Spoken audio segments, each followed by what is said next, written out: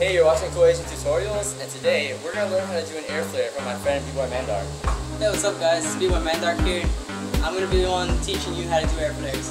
Before you start an air flare, you should first uh, start to stretch.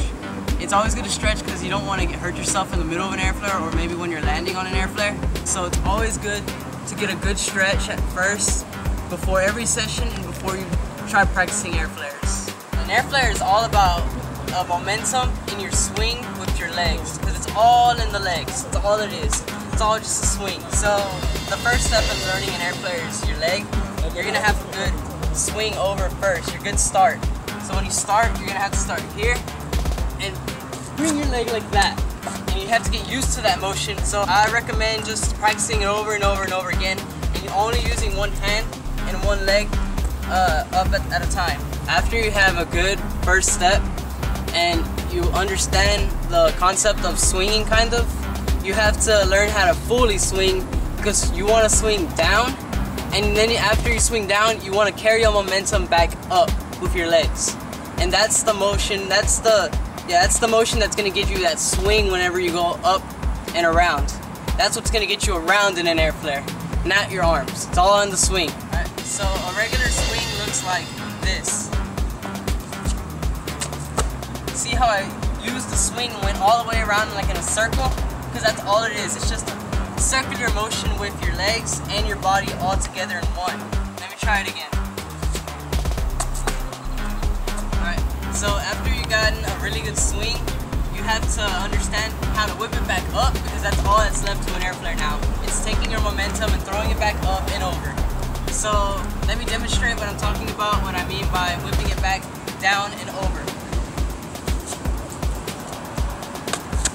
One thing that you have to do in an air flare is you always have to commit and you have to have the mentality that you're gonna go through with it and that you're not gonna stop mid-air because if you stop mid-air you're just gonna fall and you're never gonna get it. That's the problem with learning air flares.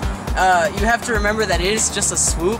So with your legs you have to swoop down with your feet and bring it back up.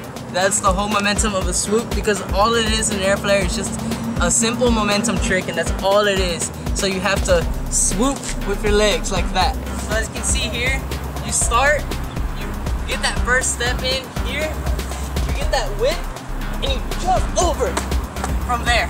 Catching, whenever you gotta catch an air flare, that all just comes from practice, practice, practice, and from getting a good jump over. You'll, you'll see the ground in front of your face and you're like, well instantly, it's kind of common sense, you know, put your hand before you smash your face. Uh, that's all there is to learning an air flare and eventually, if you practice it enough, some people learn it quickly, some people learn uh, very slowly, but it, it's all at your own pace. So uh, I want to give a shout out to Baytown, Texas, uh, for helping me get to where I am right now and helping me learn an air flare. Shout outs to YA for letting me be on their sidewalk right now and filming.